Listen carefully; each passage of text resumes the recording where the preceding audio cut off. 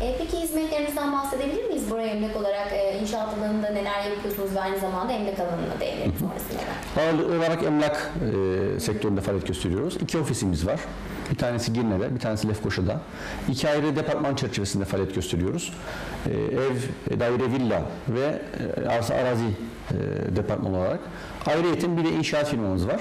Hı hı. Özellikle yabancılara yönelik Girne bölgesinde e, işte butik ürünler diyebileceğimiz deniz kenarı, e, üst gelir grubuna yönelik e, ürünlerle e, iştigal ediyoruz. Bora Emlak olarak bundan sonraki hedefleriniz, projeleriniz nelerdir, neler yapmayı düşünüyorsunuz?